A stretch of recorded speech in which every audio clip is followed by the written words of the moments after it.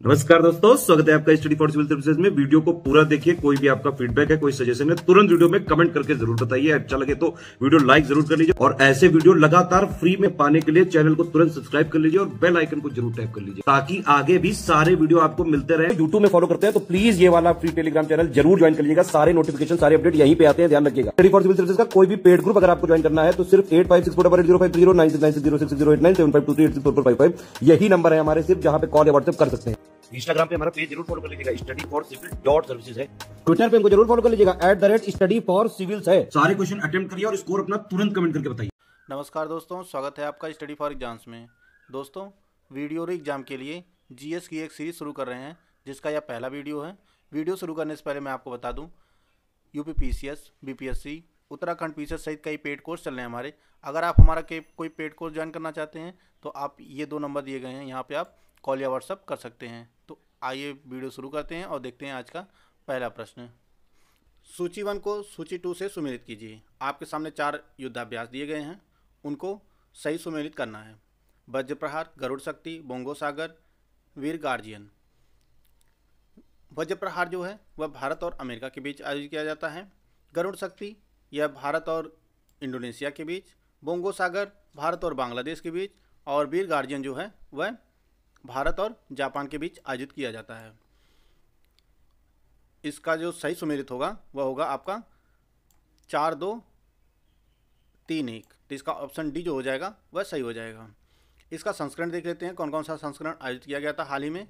तो वज्र प्रहार का जो तेरहवा संस्करण था, यह हिमाचल प्रदेश में आयोजित किया गया था 2022 में। और गरुड़ शक्ति का आठवां संस्करण 2022 में आयोजित किया गया था।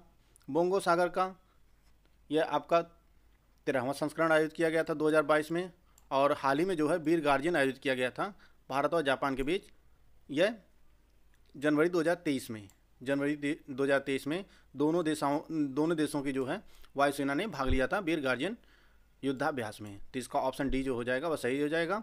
देखते हैं अगला प्रश्न हम लोग। हाल ही में हुए विस्फोट के कारण चर्चा में रहा किलाउआ ज्वालामुखी। किस देश में स्थित है? अमेरिका रूस फ्रांस ईरान। तो इसका जो सही आंसर हो जाएगा वह हो जाएगा आपका ऑप्शन ए अमेरिका में। किलाउआ ज्वालामुखी जो है यह अमेरिका के हवाई द्वीप पर स्थित है। और हाल ही में जो है इसमें विस्फोट हुआ है। इसी के कारण यह ज्वालामुखी जो है खबरों में थी। अगला देखते हैं। विश्व खुशहाली सूचकांक 2023 में फिनलैंड पहले स्थान पर है। इसमें भारत की रैंकिंग क्या है आपको ये बताना है। 120, 126, 128, 131 तो इसका जो सही आंसर हो जाएगा, वह हो जाएगा आपका ऑप्शन बी 126 विश्व खुशहाली सूचकांक 2023 में जो है, वह भारत की जो रैंक है, वह 126 है और इसमें जो है कुल एक सौ सैंतीस देशों में 126 रैंक है। और यही जो है, विश्व खुशहाली सूचकांक 2022 में जो है, भारत की जो रैंकिंग थी, वह 136 थी। कितनी? 136 और इसमें जो है, कुल 146 देश थे। 146 देशों में जो भारत की रैंकिंग थी, वह 136 थी 2022 में और 2023 में जो है, वह एक सौ सैंतीस देशों में। इसमें 126 है। इसका ऑप्शन बी जो हो जाएगा, वह सही हो जाएगा। अगला देखते हैं। निम्न में से किसने उत्तर प्रदेश राज्य के राज्यपाल का पद कभी नहीं संभाला है? इनमें से, इन चारों में से कौन उत्तर प्रदेश के राज्यपाल नहीं रहे हैं, उनको आपको बताना है। Shri Chandra Shri Chandra Bhanugupta, Shri H P Modi, Shri Kanhaiyalal Maniklal Munshi, Shri Durgala Ramakrishna Rao. तो इसका जो सही आंसर हो जाएगा, वह हो जाएगा ऑप्शन ए, श्री चंद्र भानु गुप्ता यह जो है, उत्तर प्रदेश के राज्यपाल नहीं रहे हैं और तीनों लोग जो हैं, बाकी यह उत्तर प्रदेश के राज्यपाल रहे हैं। और उत्तर प्रदेश की जो वर्तमान राज्यपाल हैं, वह आनंदीबेन पटेल जी हैं। भारत के संविधान अनुच्छेद एक सौ तिरपन में कहा गया है कि प्रत्येक राज्यपाल में एक, प्रत्येक राज्य में जो है, एक राज्यपाल होगा। किसमें कहा गया है? यह एक सौ तिरपन अनुच्छेद में। अगला क्वेश्चन देखते हैं हम लोग। अरल सागर निम्न में से किस देश के बीच स्थित है? रूस, Ukraine, Uzbekistan, Kazakhstan, Armenia, Kazakhstan, Iraq, चीन। इसका जो सही आंसर हो जाएगा, वह हो जाएगा आपका option B Uzbekistan, Kazakhstan. Aral सागर जो है, वह उज्बेकिस्तान, कजाकिस्तान के बीच में स्थित है। आपके, आप इसमें मैप में देख सकते हैं, ये आपका कजाकिस्तान है और ये रहा आपका उज्बेकिस्तान और ये रहा आपका अरल सागर। अरल सागर जो है, यह एक खारे पानी की झील है। तो इसका ऑप्शन बी जो हो जाएगा, वह सही हो जाएगा। अगला क्वेश्चन देखते हैं हम लोग। वहाँ एरो इंडिया का आयोजन कहाँ किया गया? बेंगलोर हैदराबाद, मुंबई, नई दिल्ली। तो इसका जो सही आंसर हो जाएगा, वह हो जाएगा आपका ऑप्शन ए, बेंगलोर में। चौदहवा एरो इंडिया का आयोजन आयोजन किया गया था, वह बेंगलोर में किया गया था। और वहीं पर एक वायुसेना स्टेशन है, एहलंका, वहाँ पर इसका आयोजन किया गया। इसकी जो थीम रखी गई थी the runway to billion opportunities, इसकी थीम थी। डिफेंस एक्सपो 2022 का आयोजन जो किया गया था, वह गुजरात के गांधीनगर में किया गया था। इसको भी आप लोग याद रखिएगा। अगला क्वेश्चन देखते हैं। उत्तर प्रदेश राज्य में निम्न में से किस लोकायुक्त का कार्यकाल सर्वाधिक रहा है? आपके सामने चार लोकायुक्तों के नाम दिए गए हैं। इनमें से किसका कार्यकाल सर्वाधिक रहा है? आपको ये बताना है। तो इसका जो सही आंसर हो जाएगा, वह हो जाएगा आपका ऑप्शन सी, न्यायमूर्ति एन के मेहरोत्रा। इनका कार्यकाल जो है सर्वाधिक रहा है। इनका जो कार्यकाल था, वह मार्च 2006 से लेके और 2016 तक, जनवरी 2016 तक इनका कार्यकाल था। लोकायुक्त का जो कार्यकाल था पहले, वह छः साल का था। और इसे 2012 में इसे बढ़ाकर आठ साल कर दिया गया। उत्तर प्रदेश के पहले जो लोकायुक्त थे, वह विशंबर दयाल थे। और उत्तर प्रदेश में उत्तर प्रदेश लोकायुक्त अधिनियम जो पारित किया गया था, यह 1975 में किया गया था। 1975 में। और वर्तमान जो उत्तर प्रदेश के लोकायुक्त हैं, वह संजय मिश्रा जी हैं। इसका ऑप्शन सी जो हो जाएगा, वह सही हो जाएगा। अगला क्वेश्चन देखते हैं हम लोग। निम्नलिखित में से कौन सा युग्म सही सुमेलित नहीं है? बाबर नामा अकबर, शाहजहाँ नामा इनायत खान, हुमायूं नामा हुमायूं तुजुके जहांगीरी जहांगीर। तो इसका जो सही आंसर हो जाएगा, वह हो जाएगा आपका option B Shahjahan sorry option C Humayun Nama जो है, वह हुमायूं की पुस्तक नहीं है। इसकी जो रचना किए थे, वह गुलबदन बेगम ने किया था। यह जो है ऑप्शन सी असुमेलित है। बाकी तीनों जो हैं, वह सुमेलित है। अगला देखते हैं। किसी ग्राम पंचायत द्वारा उप प्रधान को पद से हटाने के लिए कम से कम कितने पंचायत सदस्यों का समर्थन आवश्यक है? एक बटे चार, एक बटे दो, एक बटे तीन, दो बटे तीन। तो इसका जो सही आंसर हो जाएगा, वह हो जाएगा आपका ऑप्शन डी दो बटे तीन का समर्थन आवश्यक है। उप प्रधान को हटाने के लिए। इसका ऑप्शन डी सही हो जाएगा। अगला क्वेश्चन देखते हैं हम लोग। भारत में महारत्न कंपनियों की संख्या कितनी है? ग्यारह, बारह, तेरह, चौदह। तो इसका जो सही आंसर हो जाएगा, वह हो जाएगा आपका ऑप्शन बी बारह। वर्तमान में भारत में कुल बारह महारत्न कंपनियाँ हैं और बारहवीं जो रत्न, महारत्न कंपनी बनी है, वह आर ई सी बनी है। आर ई आर ई सी बनी है महारत्न कंपनी। और हाल ही में जो है, अप्रैल में ही railway company R V N L को जो है, नवरत्न का दर्जा, नवरत्न कंपनी का दर्जा दिया गया है और यह जो है, तेरहवीं नवरत्न कंपनी बनी है। तो यानी महारत्न कंपनियों की संख्या जो भारत में, वह बारह है और तेरह जो है, नवरत्न कंपनियाँ हैं। अगला क्वेश्चन देखते हैं हम लोग। किसी विधानसभा में भारत के संविधान के अनुसार कम से कम और अधिक से अधिक कितने सदस्य हो सकते हैं? आपके सामने चार ऑप्शन दिया गया है, ऑप्शन पढ़ लीजिए। इसका जो सही आंसर हो जाएगा, वह हो जाएगा आपका ऑप्शन डी, साठ साठ से कम नहीं हो सकते और पाँच सौ से अधिक नहीं हो सकते। तो इसका ऑप्शन डी जो हो जाएगा, वह सही हो जाएगा। अगला तो क्वेश्चन देखते हैं हम लोग। खेलो इंडिया यूथ गेम 2023 में शीर्ष के राज्यों का कौन सा युग्म सही है, आपको ये बताना है। आपके सामने चार ऑप्शन है, ऑप्शन पढ़ लीजिए। इसका जो सही आंसर हो जाएगा, वह हो जाएगा आपका ऑप्शन सी महाराष्ट्र, हरियाणा, मध्य प्रदेश। सर्वाधिक खेलो इंडिया यूथ गेम्स में जो है, सर्वाधिक पदक जो जीते थे, वह महाराष्ट्र ने जीता था।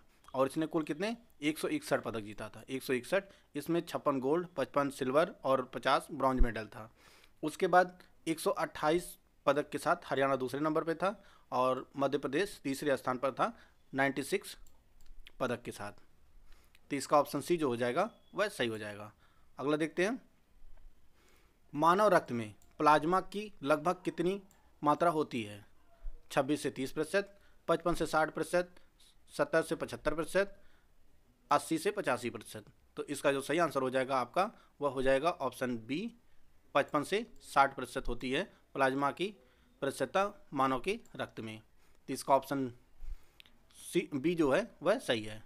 अगला क्वेश्चन देखते हैं हम लोग।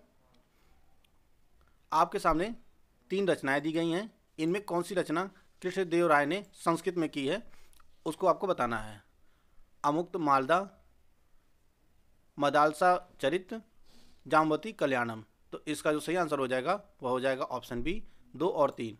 मदालसा चरित और जामवती जो कल्याणम जो है, यह दोनों रचना संस्कृत में है और अमुक मालदा जो है, यह तेलुगु भाषा में है। यह तेलुगु भाषा में है। इसका ऑप्शन बी जो हो जाएगा, वह सही हो जाएगा। अगला क्वेश्चन देखते हैं हम लोग। उत्तर प्रदेश वन निगम कब स्थापित किया गया? आपके सामने चार ऑप्शन है।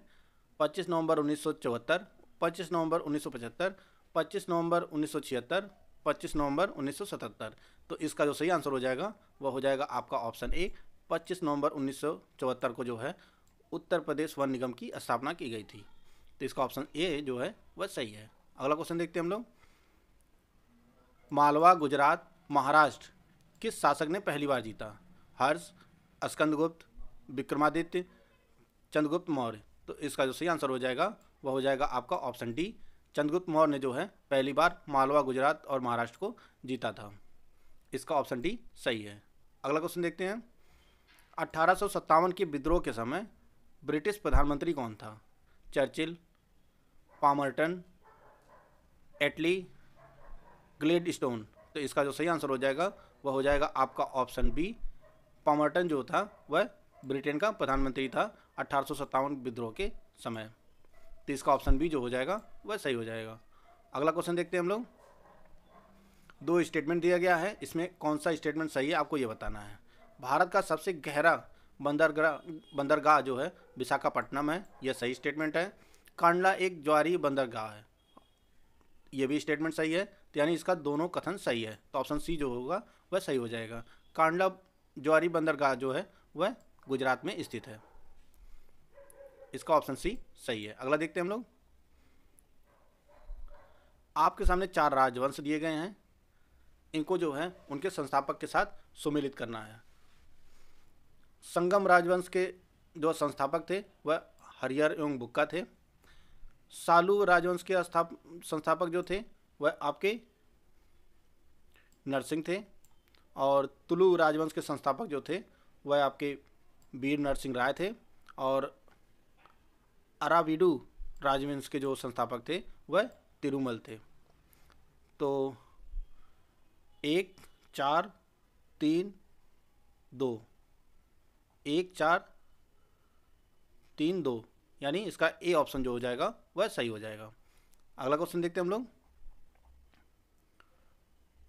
सूची वन को सूची टू से सुमिलित करना है। भारतीय संविधान में जो है, द्विसदनी व्यवस्था जो है, वह ब्रिटेन के संविधान से ली गई है।